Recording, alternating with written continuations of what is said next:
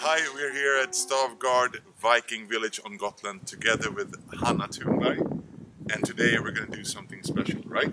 Yes, because Hanna is the co-author of An Early Meal, and that is probably as close as you can get to a Viking Age cookbook. And today, me and Big J are going to learn to cook something that will be as authentic as it gets to what a traveling Viking would eat.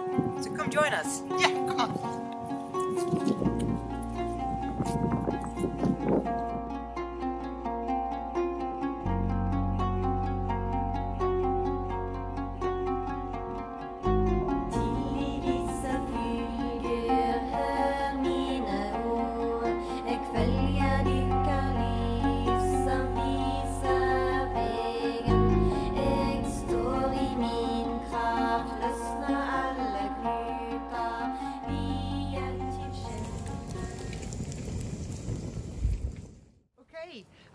Years back, me and my friend Daniel wrote a book, a Viking Age cookbook.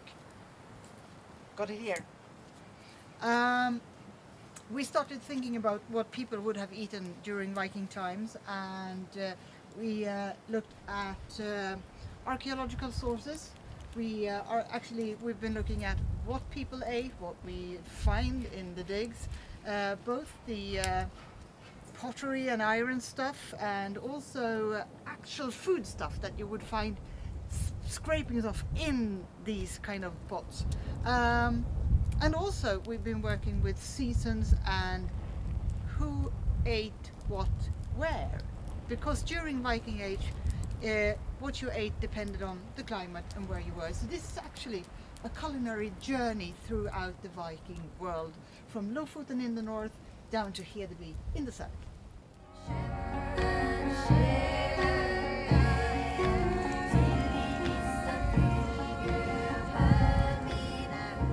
So what is it that we will be cooking today? So we're going to make a very, very simple recipe uh, and out of ingredients that you could actually have in your backpack when traveling. Um, so uh, we're going to go, um, go do some kind of Gotland take on the uh, traveler's porridge and uh, we're going to make it out of things that you could actually have at this time of year and in this place. Sustainable. Yeah, it is kind of sustainable, really. Uh, you could think of it like that, but also it's just things that comes natural to this surrounding.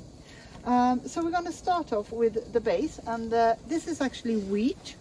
Um, in other parts of Scandinavia, you would maybe make this out of uh, um, out of barley, which is very, very uh, uh, common during Viking Age. But Gotland has kind of a, a, a special, uh, probably climate for wheat or something like that, because what we find in the archaeological findings is a, quite a bit of wheat. So we're going to make it from wheat today. Uh, so that's the base. So we're going to add, of course, uh, Viking Age favorite, some butter, a lot of butter, really.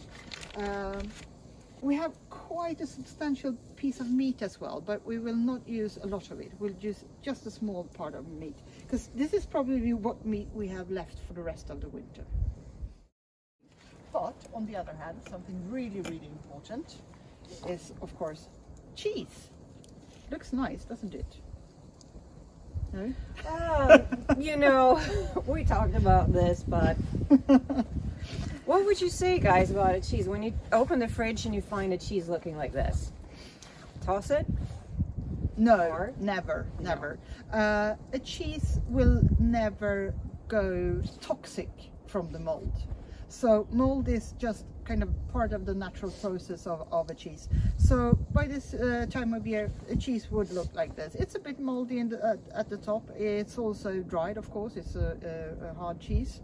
Uh, and this is full of fat and proteins and also by now uh, full of umami, the fifth uh, uh, taste, which actually gives us the this is good feeling. The Yes. secret behind cheese. the secret behind cheese. So, the mold, we just chop it off. uh, if we want to, we can also taste it and say, do we like it? Is it good or is it not good? Mm. So this one has uh, And a cloth on, and under that. It's not as moldy.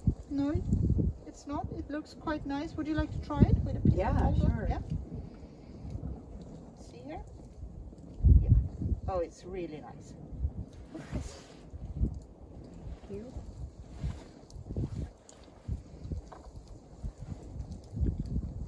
Mm. Mommy, So yeah, I'd rather read it than spit it out. It's good. that's good. And I guess that at the um, towards the end of the winter, um, beggars wouldn't be choosers. No. you would eat what you had. You wouldn't throw Yeah. things away. No, no, definitely. So, these two are fla- uh, kind of flavors, and this is the base, and we're also going to use some um, some really nice herbs. Um, it sounds a bit off when you say it, but oregano and thyme are actually natural to Gotland. Oh, yeah So they've been here all the time, so we can actually use it in, in cooking.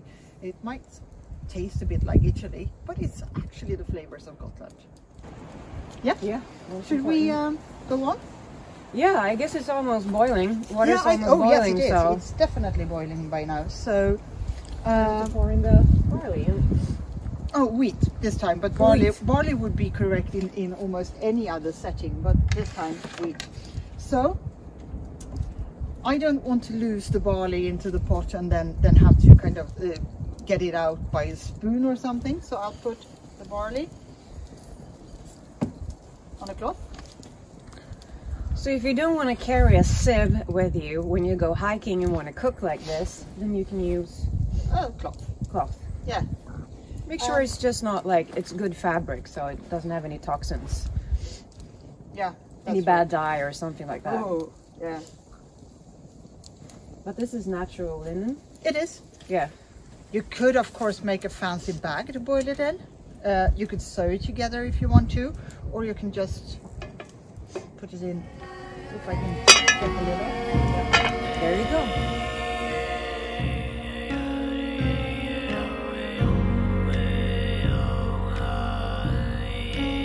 All right. So what's uh, meat, right? Yes, cut Yeah. some meat and a bit of cheese as Yes. well. And the Yeah. meat here is from uh, actually from a local farm to where we live, where the animals uh, walk freely and and have um, eaten the the herbs and everything that's on the pasture, which which will actually give flavor to the meat by itself. So supposedly you're not uh, you're not, you're not going to have to uh, season it a lot, actually. And as you can see, this is a lovely meat with a lot of fat into it, uh, which is actually what we would prefer during winter time. Yeah. Mm. This is lovely And it, yeah, it is. It is really Mm. Very good. very good. And actually, this would be enough meat for three people. Oh, yeah, that's yeah, that's not a lot actually. it's not a lot, no. no. So we're just going to cut this into small pieces. Uh, and this will be just like flavor into the food. Nice. Yep. So there we are. Nice. Yeah, and um, should we go on with uh, the cheese? the cheese. the cheese? Yeah, the Yeah. cheese. Yeah. Yeah. I think that's great. And that was the Um, lovely um, hard cheese that you opened earlier with. Yeah, Yeah, yeah, yeah. yeah. Uh, with still a bit of mold on, but it Mm. doesn't really matter. So we're just gonna uh, take a good piece of cheese like that and chop it up.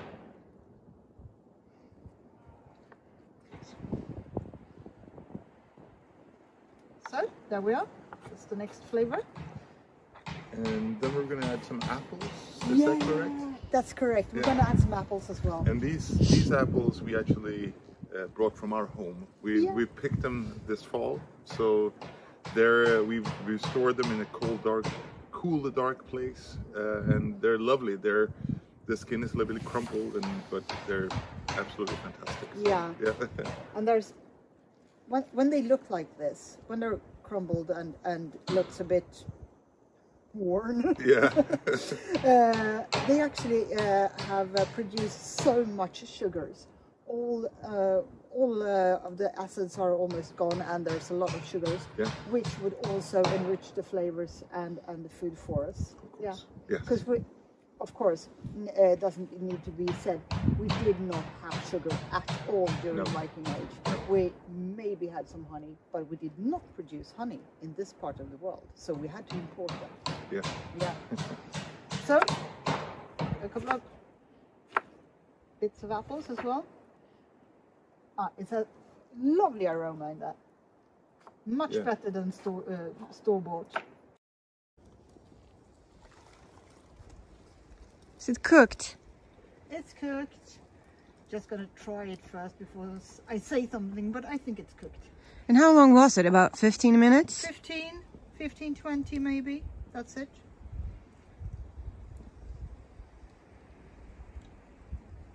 Yeah, absolutely cooked.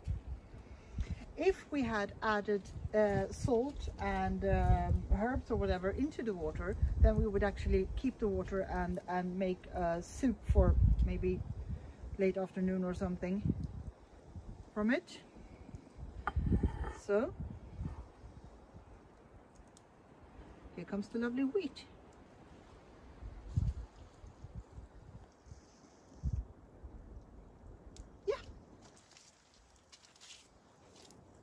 So now we're gonna actually throw out the water um, and special process. We are on Gotland.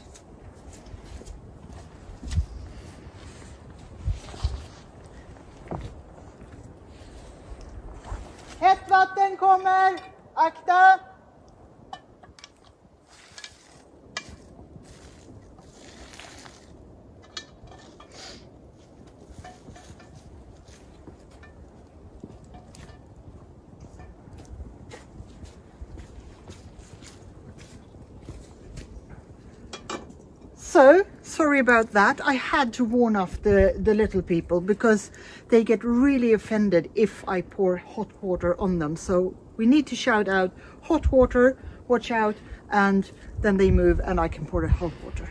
All right. Time to. Phase two. Yeah. Yes, two. phase two. Uh, so the, uh, uh, the pot is now dry, no water in there. So I'll put in some butter. Not a lot of butter, right? A decent chunk. Ah, yeah, yeah, probably.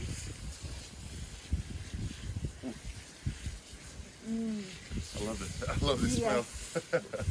I'm almost as excited as my belly about this. So in goes the apples and also the lamb. Yeah. Lamb? Yeah. Some smoked lamb into that as well. We uh, also need a bit of herbs, right? Yeah, Yeah, and that was the That's the uh, Oh, orega- oregano. Oregano. Uh, Kungsmynta it's called here in Swedish. So Ah. king's mint. Ah. Yeah. now you can smell and also some thyme. And one thing that actually uh, um, uh, people get really excited about is the fennels. And they're also uh, very early in our cuisine, so some fennel seed as well. I love fennel. So fennel seeds. And it actually smells absolutely wonderful. It does. So now And we're it looks just fantastic too. Yeah. cooking apple, meat, And the herbs. And and the the herbs. herbs, Yes. and the butter. Yes, in a in a chunk of butter, and now uh, in goes the uh, wheat.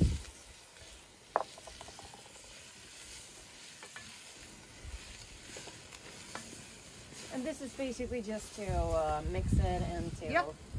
keep it warm. Keep it warm. Makes it really really nice. And of course we need to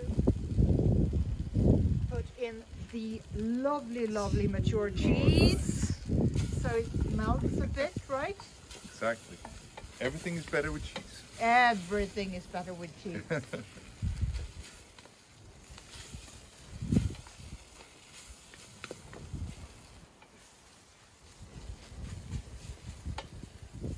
So there we are.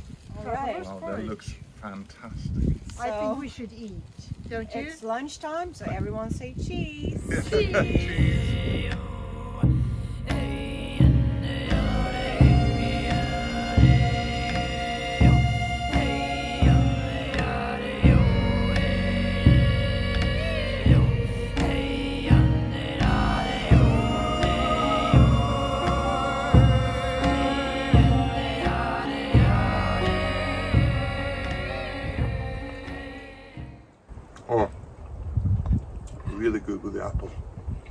Yeah, of course.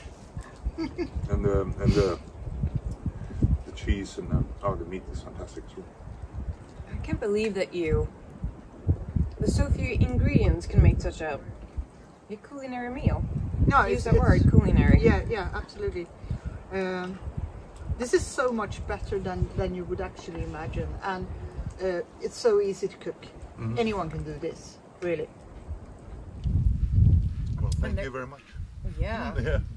There's actually no no feeling that no um, dinner experience that has a feeling that beats this. you sit outside late winter Yeah. and eat a freshly cooked meal, still hot Yeah, from the fire. it is excellent, isn't it? I just love my job sometimes.